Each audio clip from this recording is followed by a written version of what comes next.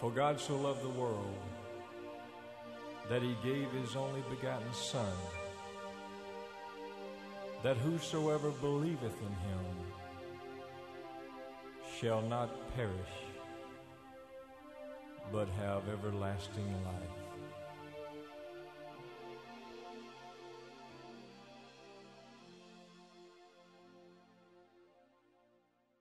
Open your Bibles to 1 Timothy.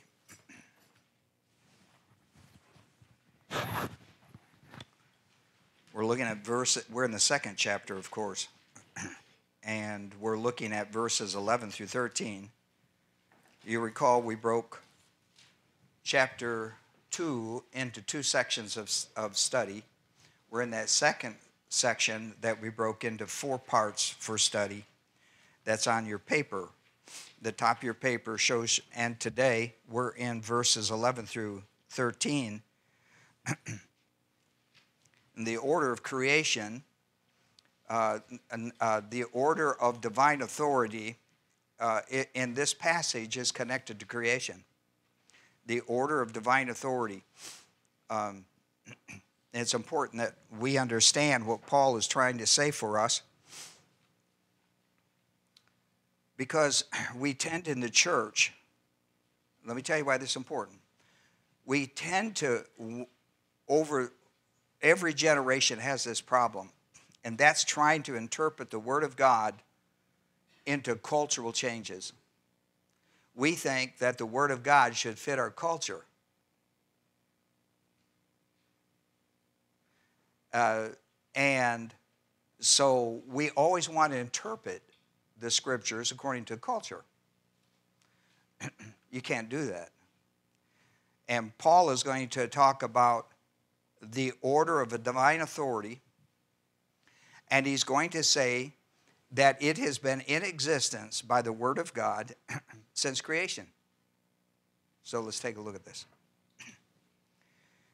In verse 11 through 13, Paul says, Let a woman quietly receive instructions with entire submissions, submission, submissiveness, but I do not allow a woman to teach nor to exercise authority over a man, but to remain quiet. And here's what he says For it was Adam who was first created, then Adam. And so he gives an order here. he shows the order of creation, but what he's talking about is the order of divine authority. And he says the order of divine authority goes all the way back to creation. Not only does culture not change the Word of God, different civilizations don't. For example, we live in the post diluvian civilization. We live in the period of after the flood of Noah. Prior to that, that would be uh, the antediluvian world of Genesis 1 through uh, 10 or 9, the flood is over. And then we have this uh, post diluvian situation arise. You and I live, our, our historical origin is the post diluvian period. And in that post diluvian period, God did some unique things. He developed the concept of dispensations they are very clear after, eh, they're very clear in our dispensation, uh, in our civilization, uh, the Jewish age, the church age, and then the coming of the millennial age. And the only thing that changed within the structure of the post diluvian period that's of great importance to you and I is that we go from the law that, Mo, that, jo, uh, that Noah carried over, uh, the word of God that he carried over on the ark, that got developed into the Mosaic law of great shadow Christology. Thank you. Yeah, that's good. You can tell I'm battling the same thing that most of you people are battling right now. Uh, wasn't wasn't I didn't know it was that obvious, but thank you. Thank you. I appreciate that. um, so let me get right to, I covered this with you. Let me get right to the point. Point number one. I want to begin uh, looking at verses 11, 12, and 13.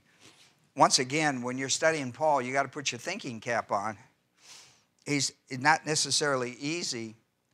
Uh, you have to pay a lot of structure. He is once you understand how he writes and how he structures things in the Greek language. But I want to break this down into three parts verse 11, 12, and 13. Uh, and I put them in a homiletical point for us to look at the predication of the order of divine authority. Listen to me, I can't tell you how important this is the word submission. The, pred- the predication of the, the, the predication of the, of the order that there is a divine order of authority is in the word submission. It is in the, it is in the word submission. The affirmation, what I'm saying is the affirmation that there is an order of divine authority is in the word submission. It, it could be in the word obey. It could be found in the construction of an imperative mood. And that's important that we and he says this in verse 11, let a woman receive instructions. He's talking about Christian women. And you remember, we're talking about the spiritual role of Christian women in the church. Let a woman receive instructions. this, and I'm going to come back to that, but I just want to make the point that this word submission is a dynamic idea where he's going with this. The second thing is a proposition in verse 12. And the proposition comes from the command. Now, what you don't see in the English is that in verse 11, there's a command. Manthano, the word for disciple or the word for, for instructions, that this is a verbal form of the word for disciple, a learner. Now, in the verbal form, this is the learning. This is the learning for a disciple. Let a woman receive instructions. Now, what you, what you can't see here is that the word instructions is an imperative. It's a present active imperative. It's a third person singular of manthano. Now, what's interesting is the third person singular. The command stands. I mean, we all understand the imperative mood is a, a command or a commandment. It's a command. But what's interesting to me in this passage is that third person singular. He is speaking to every Christian woman. Now, he could have lumped them all together. We, we, you know, we do have a third person plural. And it puts them all in that category. but that's not what he does. And the writer, what he's actually saying is that each woman has got to come within her own decision of whether she's going to do this or not. But listen, it should not be a hard decision for the woman.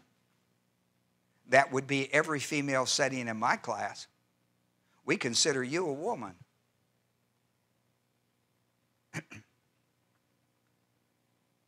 this should not be a hard decision for you because you understand the importance of a divine command.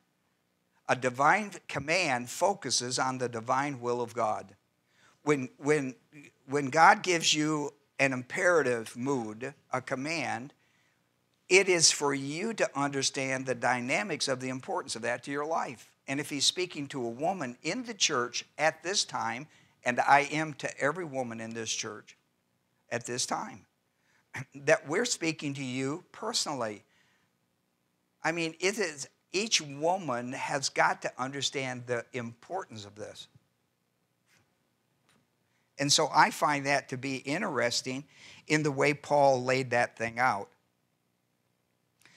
uh, the proposition in verse 12 that he comes off the command with, the proposition from the command in verse 12, uh, in verse 11, is two negatives and a positive. Two negatives and a positive.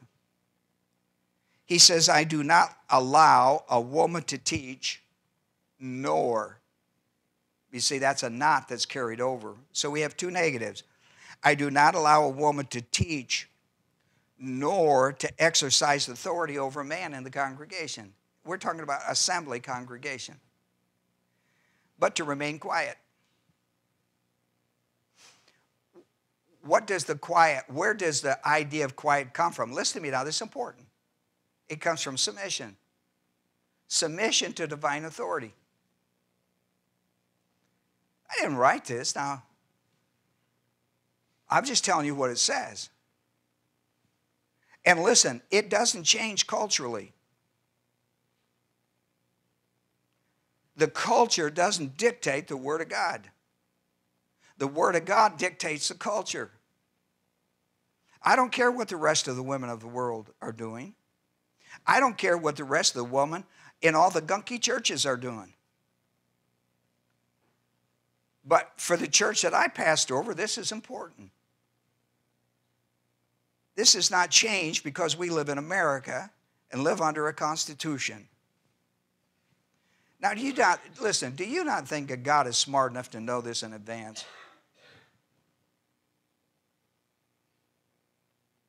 If he wants to give you wiggle worm, uh, wiggle worms, if, if he wants to give you wiggle room, he gives you room.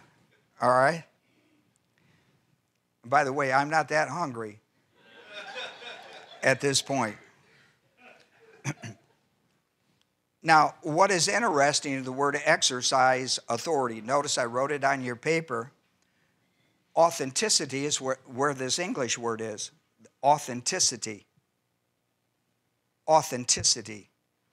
And that is being able to grasp the, the importance of this principle in the life of spiritually advancing women in the church. Authenticity. I do not allow a woman to teach or exercise authority over a man to remain quiet. The third thing is president. What is interesting, now he's building a case. He has built it off from a command into a proposition.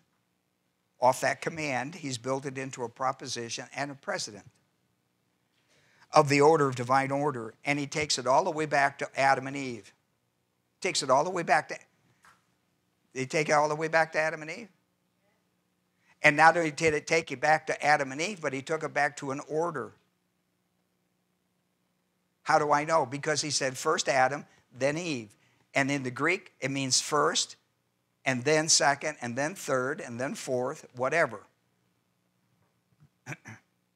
so he has connected this whole idea of the order of divine authority, he has connected it to the creation of Adam and Eve. now, there's something also interesting in here. The word create is not the typical word for create in the English. This word create in the English, that's not what the Greek says. It's not, that's not what it says at all. If you happen to have your Greek text with you today, and you look into your Greek text, you will see that it's talking about form or shape.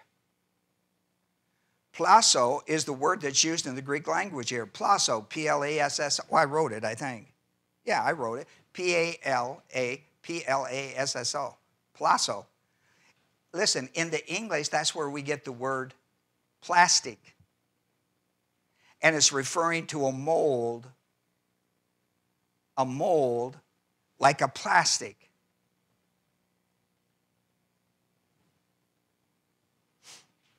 And he talks about it for Adam and for Eve. Now, in Genesis, the second chapter, verse 7, he uses the word Yatsar. Yatsar for forming man, uh, Adam out of the ground, right? We all know he was made out of. You girls know man is made out is dirt. Let me, see, let me go ahead just get that out of the way so we can get on. Dirt or the ground. Yatsar is the word that's used for Adam. God took the earth and formed, and it became a mold for man. Then he does something interesting in the Hebrew. In the second chapter of Genesis, verse 22, we get to the woman. It's not good for man to be alone. Where God's going to create him a woman, uh, a woman that's been designed for his life. Not good for man to be alone. I'm going to give him a helpmeet. And so here's what he does he banaz. He B A N A H. He banaz, the woman. He builds her, he constructs her.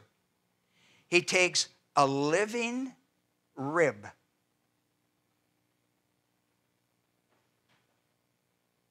Out of Adam and forms Eve. Bana. See, we men know about women's built.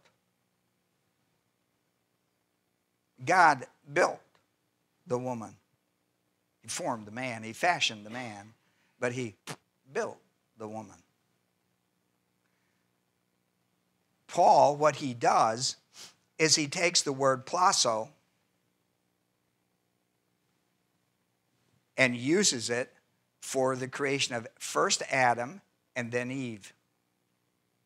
But when you go back to the original text, you see that there was much more that went on that. What's the point? Paul is not making a big deal out of the creation, right?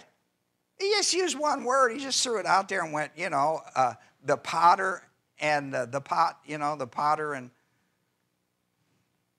that's all he's talking about. The emphasis for Paul is not on the creation, but the order of the divine authority that came from it. And he used a very blah term, plasso, just to talk about the creational aspect. But for his emphasis is on the order of divine authority in our life. Because he's talking to the, he's talking to the women of the church under the new covenant. So that gives you kind of an idea of where Paul is going. I mean, where is Paul getting his information? Where is he working from? Well, he's working from his Bible, the Old Testament. And more than likely out of the Septuagint. Now, for me, what our sovereign God is teaching in His Word, what He's teaching is relevant to every Christian woman of every ethnic culture, of every nation, of every, of every century of the church age. This is not going to change because you live in China. This is not going to change because you live in Hawaii. This is not going to change because you live in South America or any of the continents or whatever. It's not going to change. This Word of God is the same. The culture doesn't change it. America does not change the Word of God. Russia does not change the Word of God. It has nothing to do with your ethnic, your language, your nationality, or anything else.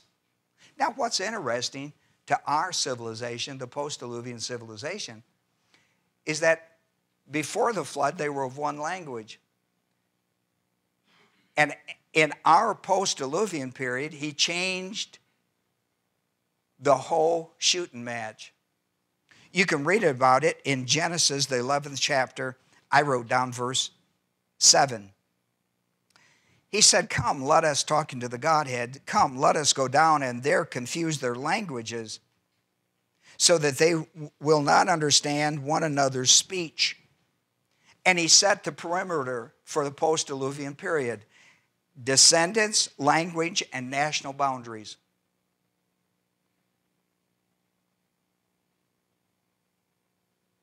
Now, listen to me. There is still one common language it is the Word of God. It don't matter what nation, it doesn't matter what language, and it doesn't matter what ethnic group. Has nothing to do with that. Here is the one language that's still there. Tell me you understand that. And this does not change because it moves to a nation or a different culture or a different language. It does not change. This is the one common language for mankind the Word of God. Therefore, when you transliterate this language of the Word of God into the national language, you must be sure that you stay true to the Word of God. And when you do, it doesn't matter what language the Word of God is translated into, the message is the same. One of the amazing things for those who travel internationally and meet other Christians of different ethnic and languages and boundaries is the commonality, the commonality that we have with one another through the Word of God. That's amazing. Right? If you've traveled any, you know it. I found that when I traveled from the north to the south. I didn't have to go overseas.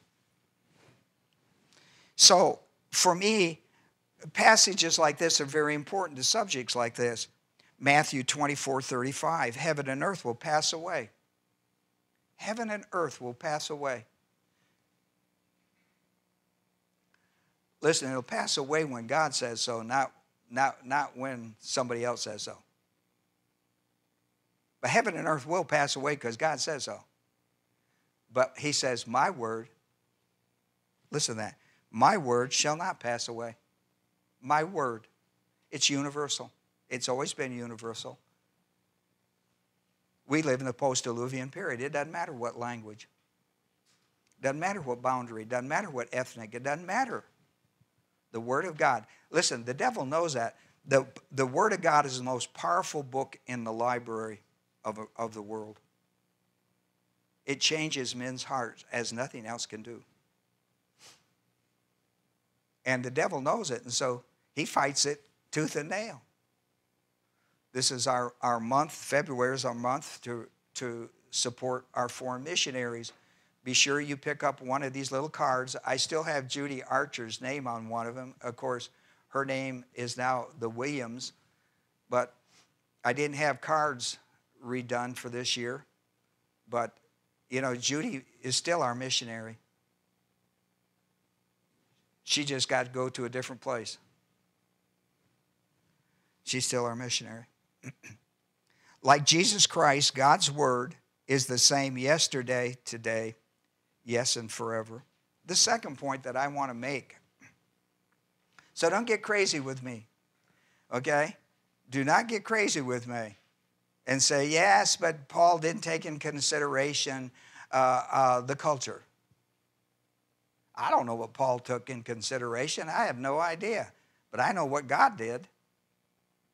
I study Paul, Paul's teaching of the Word of God. I'm after the Word of God. Now, the second thing is Paul used the Greek word where we get the word authenticity in the English, authenteo. Authenteo means to establish the authenticity of the order of divine authority. That's why Paul says, after giving a command in verse 11, he says, I do not allow.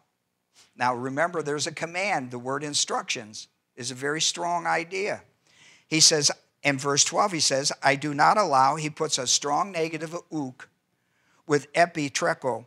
He puts it a present active indicative, first person singular. I do not allow, and we're talking about an apostle, okay, as far as authority. I do not allow women to teach nor to exercise authority over man.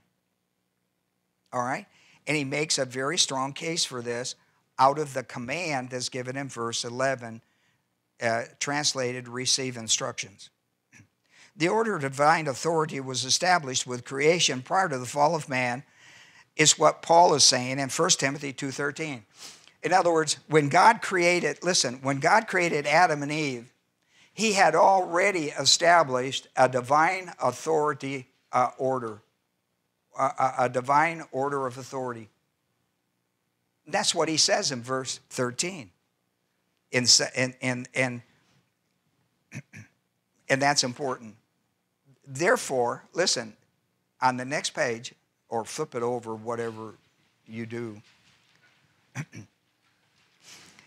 Since that's true, and Paul says that with the creation of Adam and Eve, the divine authority uh, order of divine authority that was already established came into play.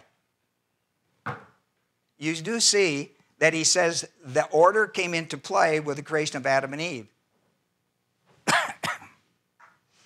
see, we can play we can play chess now because we have a king and a queen here, whatever. now,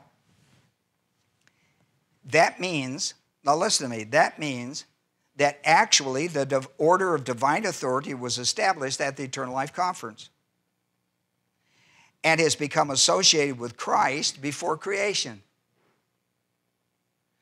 You see, the big, the, the big satanic warfare that rages today raged before the foundation of the world, before the creation.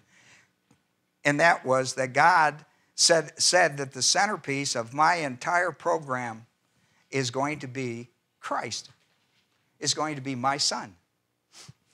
And this led to a revolt in eternity past. And this whole order, divine order of authority, is based on Christ. When Adam and Eve came along, then this order is now operational, this order of divine authority. For example, I'm going to read to you from John 17 5. It's on your paper, but just in the verse. And he says again, that he's going to say basically the same thing in verse 24. And now, Father, this is one of his great prayers. You know, John 17, the upper room is one of his great prayers. And now, Father, glorify me in your presence. Now, watch what he says. Pay attention to what he says. Now, and now, Father, glorify me in your presence with the glory I had with you, listen, before the world began. That's how this, that's how the, the, the angelic revolt, this is what the angelic revolt was all about, and that's why the revolt's still going on. Satan was able to lead a third of the angels over this revolt, and now he's trying to get at least a third of mankind.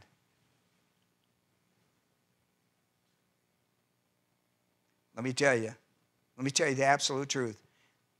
He works a lot harder than we do. We must not let him win anything in our generation. We give him nothing.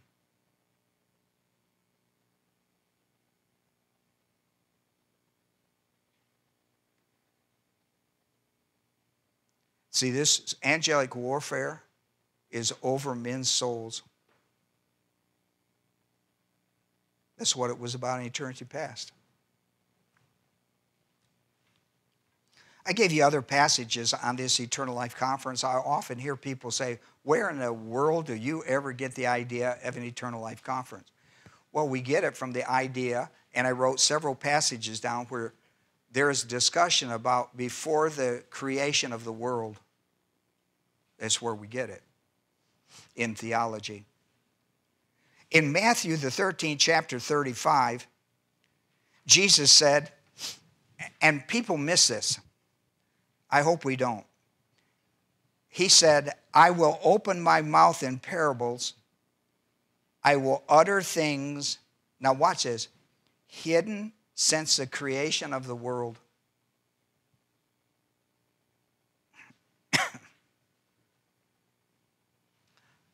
When he came to earth in his incarnation, he began to teach things that were unknown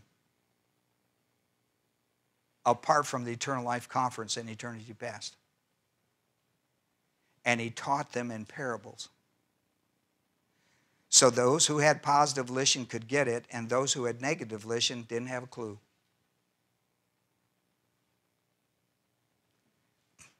We're often asked in the School of Biblical Theology, why did Jesus teach in parables? And there's the answer.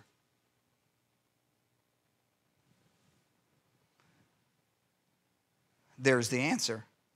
And what Paul did, or what Jesus did, was he quoted from his Bible Psalm 78 2. If you have a study Bible, you will see that that's a reference to Psalm 78 2, right? Somewhere, somewhere in there.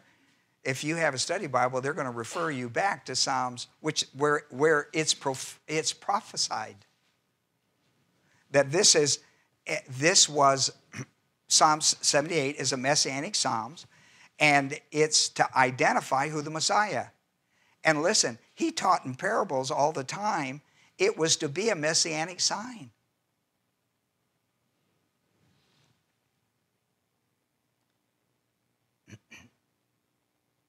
I'm emphasizing the part that this was true before creation. That's my argument. See, that's my argument. The standard for the order of the chain of command in the divine authority structure is recorded in 1 Corinthians 11:3 and so I want you to turn with me there. Be sure we have that. 11:3 Paul lays this out. I want you to understand that Christ is the head of every woman and the man is head of every woman uh, the man is Christ is the head of every man and the man is the head of every woman and God is the head of Christ. See the word head? That's an authority. That's a figure of authority. Listen, they say, well, who's the head of your business? Who's the head of your company? Who is the head of your um, restaurant? Who is the, right? I mean, when we want, got a problem, we want, I, I want the head guy to give me some resolution to this. And we're not going to be happy unless we get that from some lower person until we go all the way to the top if that's, if that's that important. We want, eventually, we're going to keep going up. So somebody gives me an answer I, I'm happy with. the head man. And so, the, so look, here's how he does it looking backwards. He goes, God, Christ, and then divine delegated authority, and then whoever's under that. See, God, Christ, God, Christ, divine delegated authority. It could be a husband to a wife, it could be parents to children, it could be business, the chain of command from the head down. In other words, uh, the bosses and then to the employees, the administrative things. Okay? That's the order. When we say, well, what is the divine order, Ron? How does it go? Well, so you got God, you got Christ, then you got the church. Now this makes it unique because church is not a divine institution. It's a, it's a, it's an institution by itself. It's unique in itself. There's nothing like it. Nothing. You can't compare it to anything. When the church tries to compare itself to a business and operate by business models, it destroys itself. A church is unique in itself. In the church, you have a unique structure. In the church, you have a unique structure because the Lord is the head of the church, and then the pastor and deacons are an authority structure. Then you have the congregation. And so we're in, we're not in a divine institutional structure, we're in a, we're in a church structure, a unique structure. And that's what Paul is talking about. You can't, there's no other, you can't compare this to anything else. And the nearest thing that Paul could get to it was in Ephesians 5 when he compared marriage to the church. The marriage between a, husband, a Christian husband and a Christian wife is compared to Christ and the church that he died to redeem. But if you're not saved, that comparison doesn't work. That's a divine institution that's not comparable. Can't take two unbelievers and compare them to Christ and the church. Can't do that at all. so that's that's kind of a unique. Third thing, oh, I didn't write this. If you're interested, I would take this, and if you're not interested, you need to ask yourself at halftime why that wasn't interesting. there is, listen to me, there is equality in salvation. There is equality in salvation. Men, women, uh, slave, free, male, female. We know Galatians 3rd chapter 26 through 28. 1 Corinthians 12, 13. We know these passages. There is equality in salvation. There is equality in salvation, but not in the divine chain of command. That's why it's called the chain of command.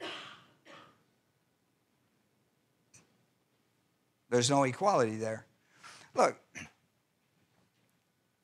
when I got drafted and went to the Army, we were all soldiers. We were all soldiers. Everybody was a soldier. We were a soldier first and a rank second.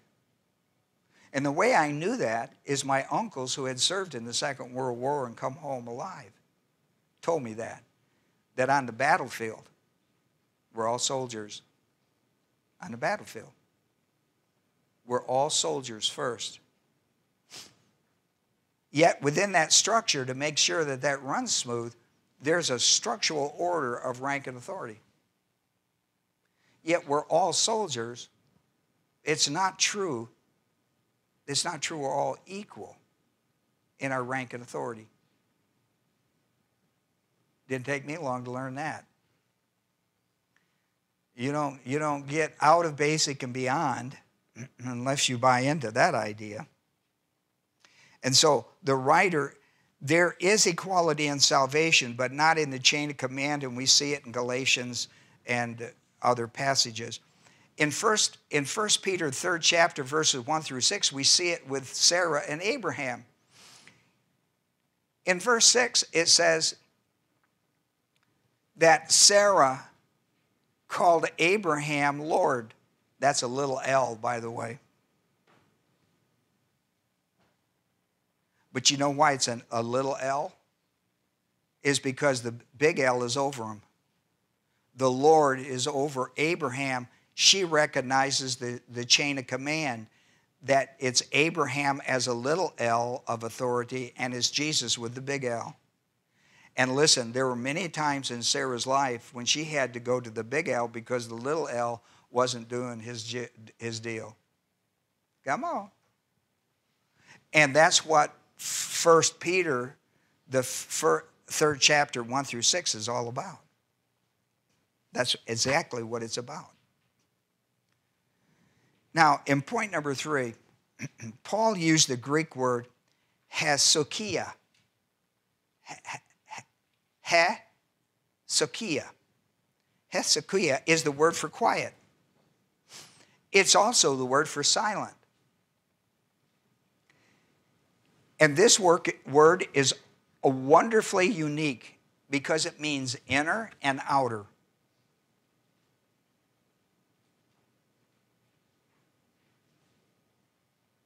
To be quiet inner and to be quiet outer to be silent inner and to be silent out. I keep telling you all the time, and, and on the very bottom of this page, there's an exercise for you, uh, homework, home study. But this inner dialogue, if you're going to have inner dialogue, be sure it's with the Lord and not with yourself because that's the privilege you have to come to the throne of grace. You have that privilege in Hebrews 4 14 and 16. You have that privilege. Not to take advantage of that privilege.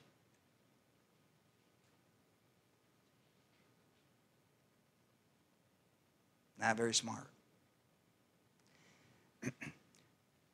but you see, in order to have good inner dialogue, you got to have it with another person that's smarter than you are, at least.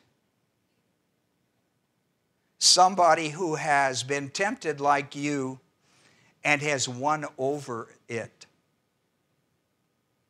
That's the Lord.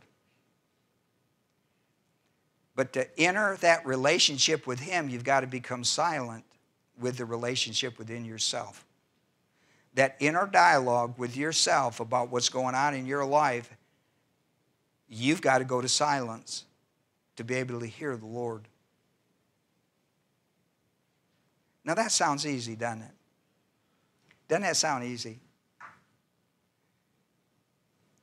Until, like my daughter says, your pants get in a wad. and it shuts off all, all the blood to your head. And you just get crazy. then it takes you a day or two to walk your way back out of it because you've walked yourself into a mess. You've become your worst enemy. This word silent is very important, but it's not going to work unless you understand submission to the divine authority. Silence will never come without submission. And this word that Paul used is really unique because it tells you to be silent inside. There are times when you need to be at peace, you need to be quiet and silent inside. And there are times when you need to be silent and quiet on the outside because when you're talking, you can't hear. And when you can't hear, you can't learn.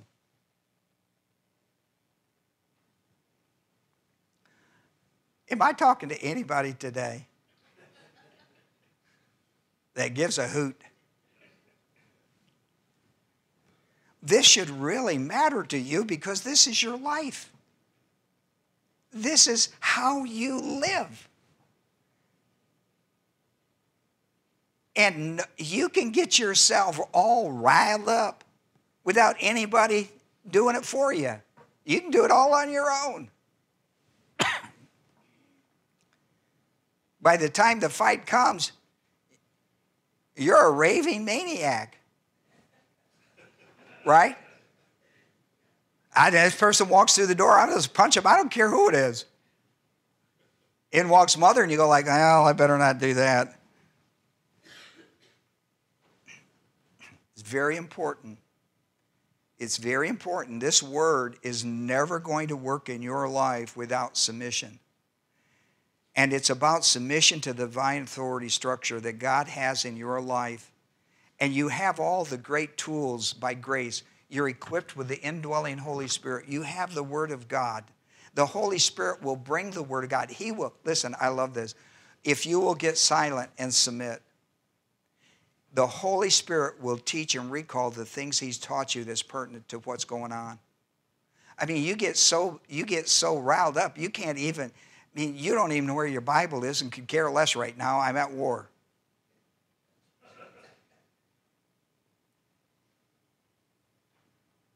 Do I sound like I'm talking personally here? Well, I am.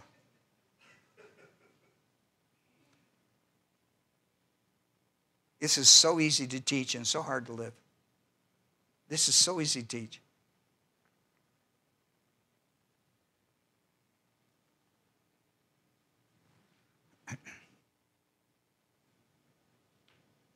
I'm going to close and I'm going to tell you a little something. I don't know anybody else's life but my own, so I just talk about my own.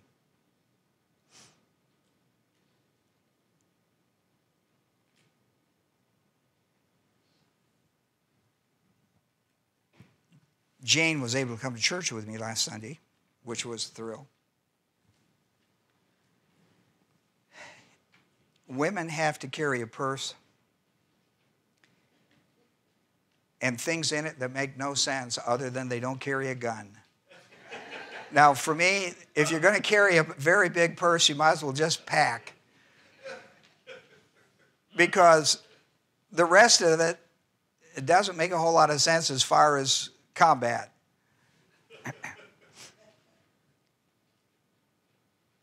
well, Monday I didn't think about Jane's purse. And Tuesday night I thought about it because we had a, dent, a, a doctor's appointment on Wednesday and she needs all that stuff in her purse. You know, all the medical things and all of our medicines and all, you know, all that stuff. Being the carekeeper, or whatever I'm called, husband, I start looking for all that stuff, right? It's not going to be hard to find because Jane keeps everything in that little old black purse. Well, I couldn't find that little black purse. So, what I did is what I've been taught all my life to do, and here's an example of old man thinking. It's not wrong. I'm just telling you, here's an old man system. This is a system I've been taught all my life, and it's, it's worked for me, or I wouldn't keep it. Backtrack, right? Where, where's the last time you remember having it? And then back, backtrack, and so I did. I looked all over the house, looked all over my car, came down to the church, went through the church, no purse. Now I start to panic. Credit cards, yada yada yada yada yada yada yada yada yada yada yada. Now I begin to get I'm into inner dialogue.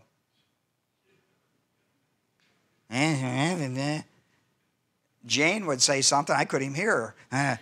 I'm, on the phone with Ron Adema. the more I processed that, the worse off I got. You know, I mean, I'm getting clammy and everything. I finally go to bed that night. Not easy, but finally go to bed. I get up the next morning. I'm in the same state of mind I was when I went to bed because now I'm on a time schedule. I don't, now I've got to be someplace at 1030 with all that information. And only God knows who's got my purse. And, and I've, I could have wrote a book. I could have wrote a book on what my mind and I were talking about. I could have wrote a book. Well, I know whether they, then I got to thinking, how high is my limit? Then I think, how, how am I ever going to find all that information? So Listen, now I'm at Wednesday. Jane says to me, Have we prayed about this?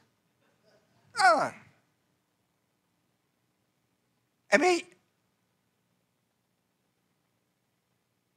no.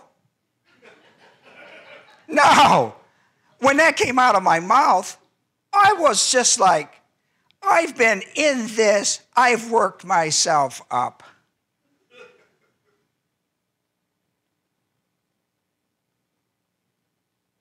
And she said, Have we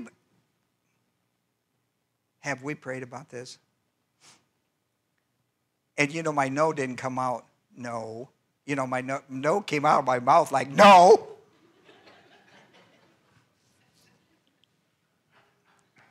Because I was all revved up under old man thinking system, our old man system. And I was absolutely shocked that I could be two days into this thing and never stop to pray. Was two days into this thing.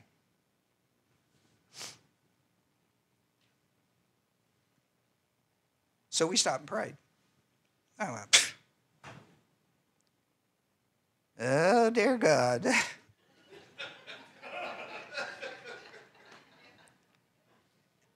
You have a bozo for sure. I, what is wrong with me that I wouldn't go to the divine system, Father? What is wrong with me? Why would I go two days scratching the walls, trying to figure out something that only you could tell me?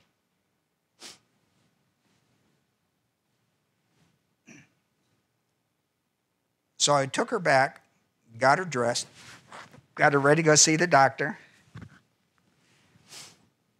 I went back out. Now, I've looked under the couches, I've moved. You know, when you get panicky, you move everything. I mean, I did everything but paint the house. If somebody would have suggested, I'd probably done it. And I walked back into the den I said, wait a minute. I walked back in the den. I lifted up a pillow. I had looked on the other side and not looked on this side because we never put it there. I lift the pillow up, and there it was.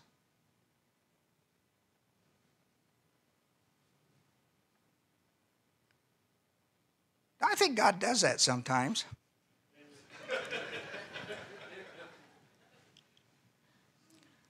or allows it.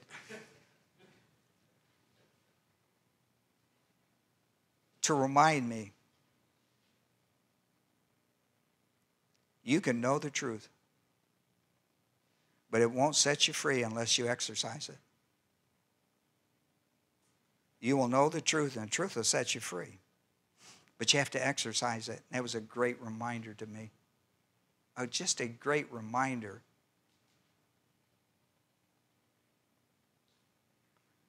So, see, you can study the Bible a great deal and know the languages and do all this stuff. But you see, listen to me. It took me two days to become silent, to listen to God It took me two days hunting, hunting. Don't do that. Can I tell you not to do that? That's just old man thinking. There was nothing wrong with the process. Listen, I, but I should have done, the priority should have been to go to the Lord in prayer, seek His counsel, seek His wisdom. Stop talking to yourself. You're a dummy. I know better than anybody how stupid I can be. So, what I'm saying is this idea silence will work when you become submissive. It won't unless you do. Submit and become silent. And let Him show you. And listen, the great, and it's on your paper, the great exercise that comes out of this is to sit down with the Lord and do the review so that you don't fall in that same pattern of old behavior. Next time you go to a different system, you go to the divine system right away. And it keeps all that inner turmoil from just getting you blind eyed. Let us pray. We'll have this word of prayer. The men will take the offering, and then we'll be dismissed for 15 minutes. There's coffee and donuts or whatever downstairs.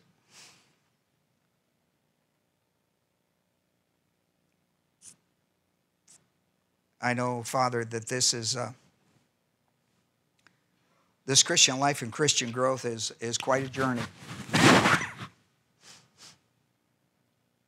and uh, we just have to be reminded to spiritually stay on top of our game and when we get into inner dialogue with ourselves, we need to stop and be submissive, become quiet, and listen to the Holy Spirit of God and the Word of God that He will speak to our hearts, He will teach and recall. He will produce within us a calmness. Everything is okay. And then the process, the hunt but not without it because you need to be calm. Allow the Spirit of God to show you why this is going on in your life, the advantage that it is for you. I pray today, Father, as we take our offering, that we, we have given as been purposed in our heart. We're not under some kind of legal system, we're under a grace system. we pray we would be good stewards of this. Give as much as possible, Father, to the gospel of Christ around the world. For we've made our prayer in Jesus' name. Amen.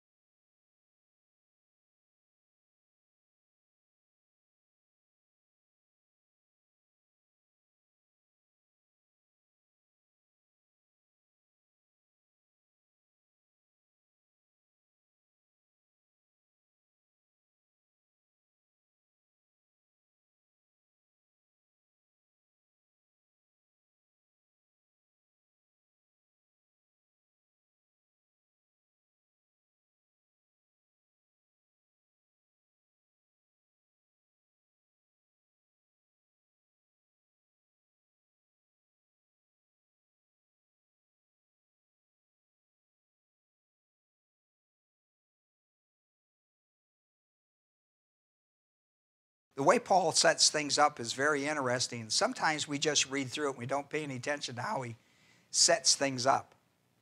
And how he sets them up is, uh, uh is very important to get what he's after. And what he does, he mentions 15 things in verses 4 through 8, he, he, or 4 through 7. he mentions 15 things. He does a positive and negative. He shows you seven things that are positive and eight things that are negative about love. Uh, and that's kind of unique. Uh, he says, here's what love is, and here's what love isn't. You know, and you say, well, I wonder why you would do that. Well, there's a lot of people that say, I love you, and then do all the things that love is not about. And so he wants to be sure the church understands what love is and what love isn't. And even if a person says, I love you, and do all these things that are uh, evidence of love, either they don't understand what love is, certainly from a category of the Word of God. So here's what he does that's interesting about it, though. Rather than just list seven things that are positive and eight things that are negative, he does something interesting. He starts with a positive in verse 4. He says, he says love is love is patient and love is kind. Then he stops.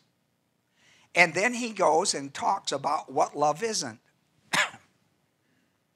and he lists eight things. He says, he's not going to come back to the subject of love until he gets through. He says, Love is not jealous, it does not brag, it is not arrogant. You see, and it's, it, listen, this is in relationship. In other words, he's talking about eh, these are the things in relationships. Love is patient, love is kind. Love is not jealous, love does not brag, is not arrogant, does not act unbecomingly, does not seek its own, is not provoked, does not take into account a wrong suffered, does not rejoice in unrighteousness. And then he comes back to the positives. He, he broke this list of positives with a whole string of negatives.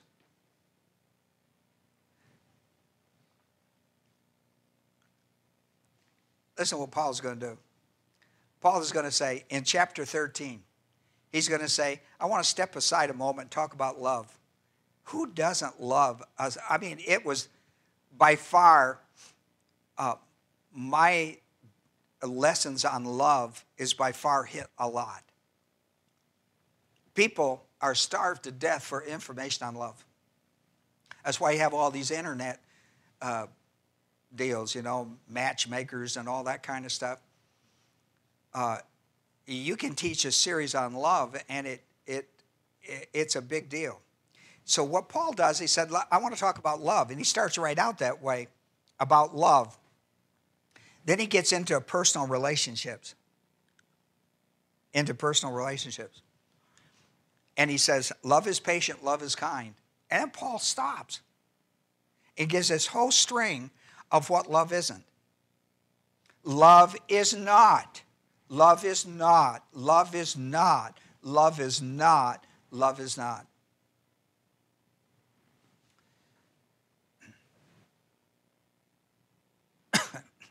it's very difficult when you're in a relationship for the person that you're in a relationship with to tell you these things because it becomes very defensive. It's very difficult for somebody that you are engaged in a relationship, that person to say to you, you're jealous, you're, you're, you, you're a braggart, you're arrogant, you're unbecoming, you're, you seek your own, you're, eh, eh, you provoke, you, you always hold a grudge, you, you're always accounting for the wrong, you always keep score on what's, what I'm not doing right, but you never, you never promote what is right. Uh, and he goes through this whole list. It does not rejoice. uh, he does all that, and then he comes back to the subject. He comes back to the subject. That's just unbelievable. Who would ever do that unless you're doing it to make a big point? And that's how Paul does it. Paul is about, he made a big point. There are Christian people in the church in relationships with each other that love the topic of love, but when it came to the exercise of it in the personal relationship, the two people were light years apart on what they believed about it. And so, he says, love is patient, love is kind. Then he stops and go through a whole list of what love isn't. Then he comes back in verse 6, he says, at, this, at the last part of verse 6, he comes back, but love rejoices with the truth, love bear, bears all things, love believes all things, it hopes all things, it endures all things. Then he says, You see, love never fails. Now, if I was having a if I was having a a meeting with you, if I was in a small group dynamic course, I would have had you the two columns, what love is and what isn't, and we'd have wrote a whole list of them down. And then we'd have went back and I would have had you circle the ones that are in your relationship that that are there in your relationship that is damaging your relationship and you would circle them. And what you would have, you'd have a little bit on each side. You would have some over here, there would be some circled over here, and then you would have some circled over here. Then Paul would tell you, here's what Paul would say. This is what Paul did. Paul would say, Now I want you to step back a moment, and I want you to write which side is love never fails. On what side of this list, here is what love isn't, here's what love is.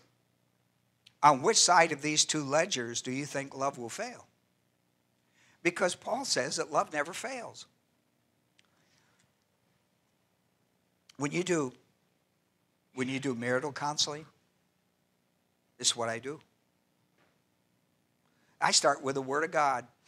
I lay it up there.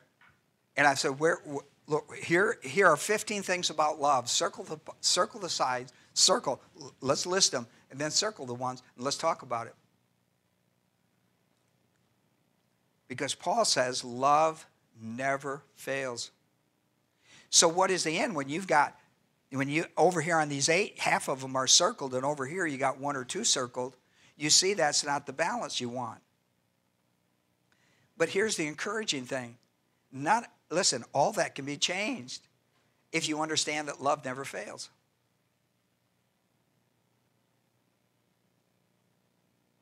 Because if you if I said to you, like I did, which side would you put love never fails? You would have put it on the positive side, right? Because this is what love is, this is what love isn't. So this isn't love.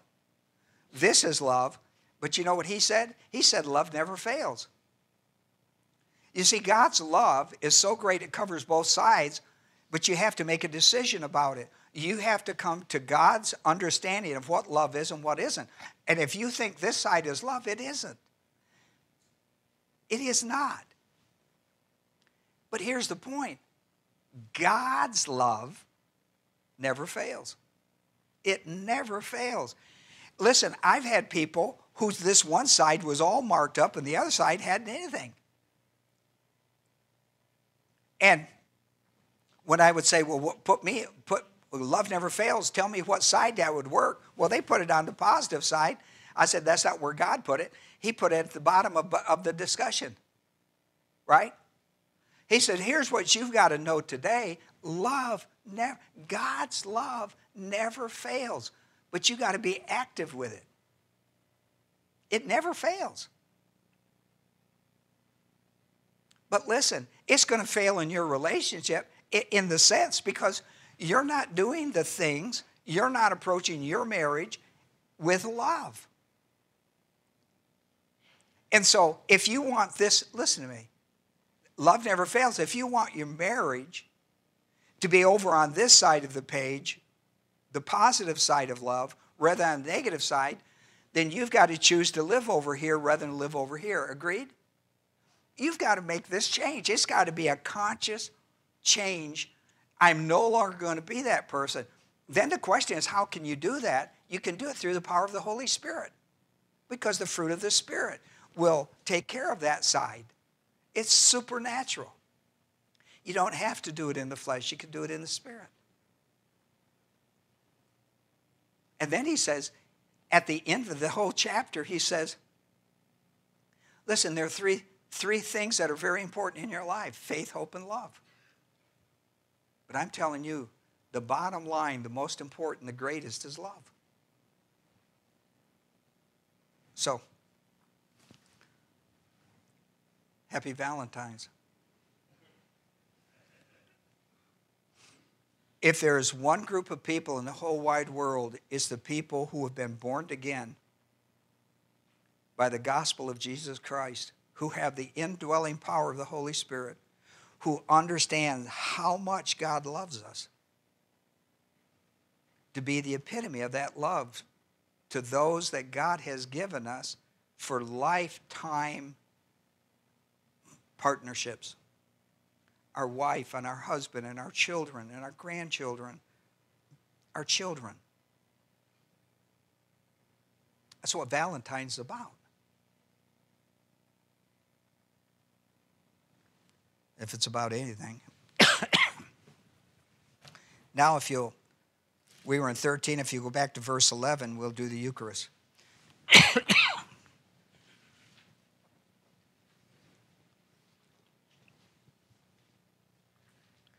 if you have a bulletin, inside that bulletin is an important piece of paper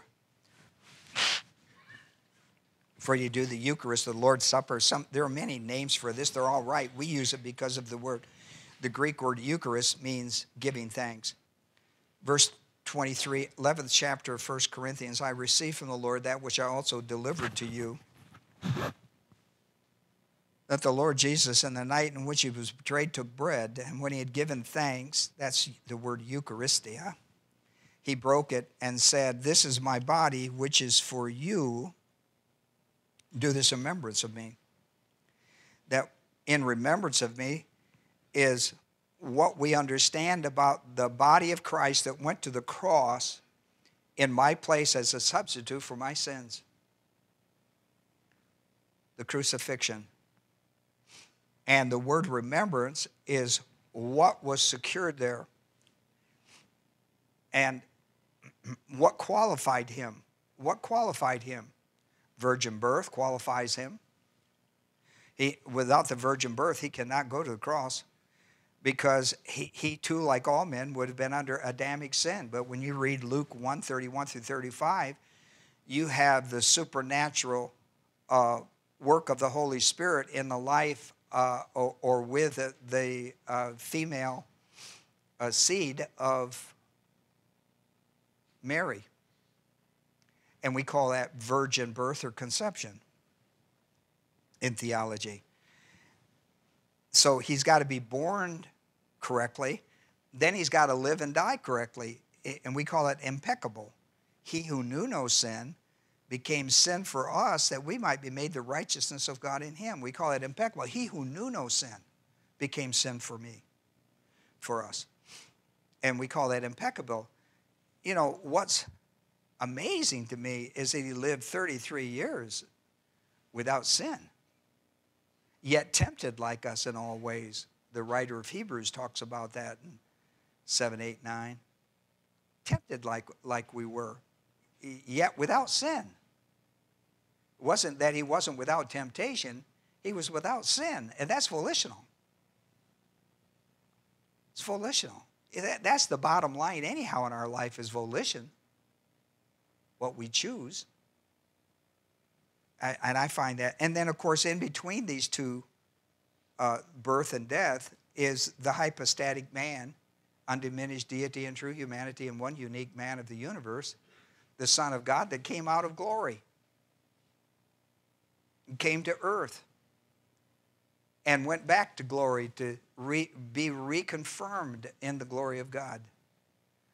The presence. You know, Jesus made such a big deal out of presence with God. He talks about the presence with God before the world was began. He talks about the presence of God with him, with him in his earthly life. And then on the cross, he talks about the absence of the presence of God. And I think sometimes we don't realize what a gigantic idea that was in the life of, of Jesus Christ. Then he's raised from the dead, and we're back, he's now back into the discussion of the presence, back into the presence of God. Um, you know, in Psalms 22 1, it was prophesied that he would speak these words from the cross My God, my God, why have you forsaken me? And we saw him quote those words from the cross as, as he is about to enter into the suffering for the sins of mankind.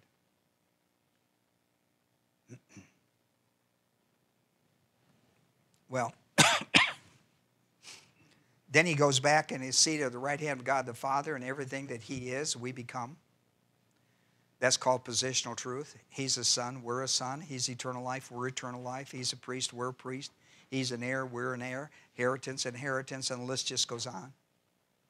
I can't tell you how important that list is to your life. That list we call the 20 status privileges in the 50 things you receive at salvation. That, those 20 status privileges, you should pay attention to that every day of your life because the devil always telling you what a slug you are.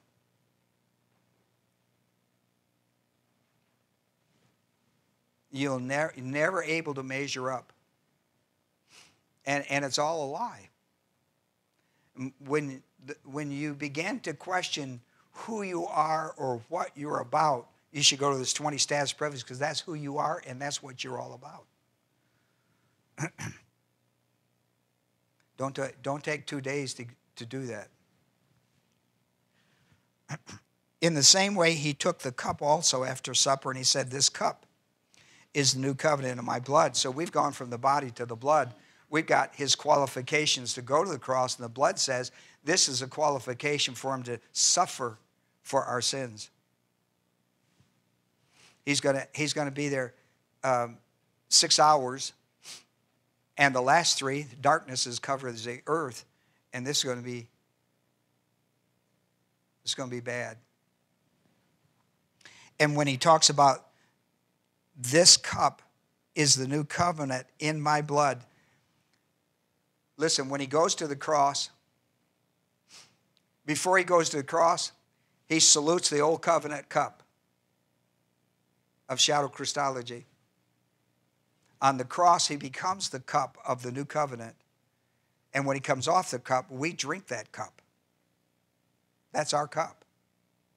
We take part in the cup. It's the cup of the new covenant. It's the cup of the new covenant. You don't get there because you go to church. You don't get there because you pick up this cup. You get there because you believe that the body that went to the cross and died for your sins, not for his, died for our sins, was buried and raised from the dead, is where you get the privilege to put your feet under the table, so to speak, and drink the new covenant cup. It, it's quite a privilege. It's quite a privilege.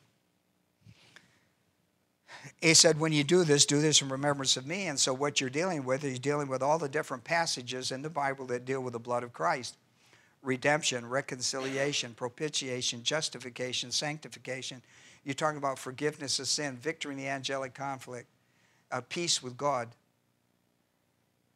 You're talking about these things that have been given to you by grace. Because Jesus did the work and paid the price, we get it by grace. It's not that it's free, He paid the price that we could never pay.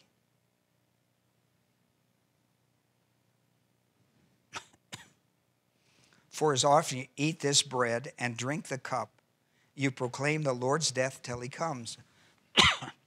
Therefore, Whoever eats the bread or drinks the cup of the Lord in an unworthy manner shall be guilty of the body and the blood of the Lord. Let a man examine himself. Why should he examine himself? Because we must not take part unworthily. What would that be? With sin in our life. Mental attitude sins, sense of the tongue, overt sins. You know, one of the sins that people sweep under the carpet is the sin of rebellion. They say, you know, I haven't gone out and committed any any quote sins. You know, in their mind there are big sins and little ones, and they haven't done any of the big ones. But they're rebellious. They're rebellious against God. They're, re- they're rebellious. They're just rebellious in their spirit. That's a sin. That's a sin. And it will get you in so much trouble. You need to confess that. Mental attitude sins, sins, tongue and verse sins. And it's up to you. Notice, let a, let a man examine himself. You have to do your own inspection. If you're a believer in the Lord Jesus Christ, the Holy Spirit, when you say, Show me, He will show you. And when He does, then you in silence confess it. 1 John 1 9, if you confess your sins, He's faithful and just to forgive you and cleanse you. That's not the only passage in the Bible that talks about that, but it's an important one, and it's one that you can remember. That's why we use it. So, he who eats, eats and drinks judgment to himself if he judges him, if he uh, drinks judgment to himself, if he does not judge the body rightly. In other words, discipline will come. For this reason, many among you have become weak, sick, a number have died or, or, or, or sleep. It's a euphemism for a believer dying. if we judge ourselves rightly, that would be 1 John 1 9 among many passages, but that would be a good one. If we judge ourselves rightly, we should not be judged. But when we are judged, we're disciplined by the Lord in order that we may not be condemned along with the world. It shows that you're a child of God. This Father loves you. He wants you to be back into a fellowship with Him. He wants you to have a listen. The greatest discovery I made in my life as a young person was I wasn't just dumped off here on the earth. Now, that's kind of the way I viewed my life as a young person. When I was 15, I just kind of figured I was dumped off on the earth. You know, like babies left on a front door of someplace. And I really struggled at the age of 15 with some kind of identity that I had lost as, as, a, as a person. And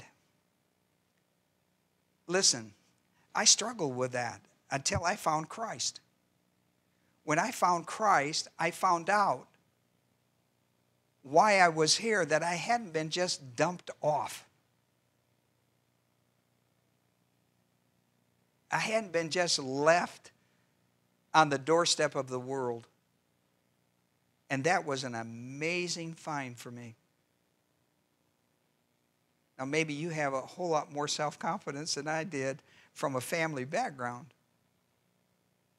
But I'm telling you, that was quite a discovery. I was 21 years old when, when I discovered that.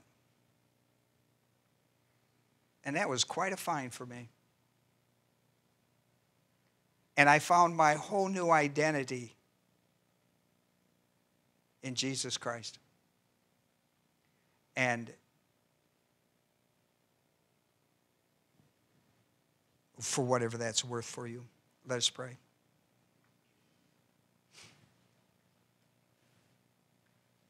I give you a moment of silence as a believer priest. By that, I'm, I'm saying to you that you believe that Jesus died for your sins, was buried, and raised from the dead third day to give you life everlasting. And you've made that personal decision in your life. I mean, I'm assuming that but I'm not assuming that you don't understand, so I'm explaining it to you. And once you believe that, you, you're privileged to take part in the Eucharist. But you can't take that part in this Eucharist just because it's passed to you. You've got to be sure that you're in the right fellowship with the Lord, that there's no unconfessed sin in your life. You take part in that, you'll be disciplined. So don't do that. You confess your sins, you take part in this. This is a privilege. It's a privilege to salute Jesus Christ, who went to that cross and died in our place. It's a salute to God who raised him from the dead and seated him at the right hand of God the Father on our behalf. So, Father, we thank you today. We thank you, Father, and pray the Holy Spirit would minister the truth of this Eucharist today. February. This Eucharist carries us through February, the month of love. Great opportunities, Father, within our own family, our own marriage, within the, the church, the body of Christ, to express this great love that God has for us and has for them this month of February. For we've made our prayer in Jesus' name. Amen.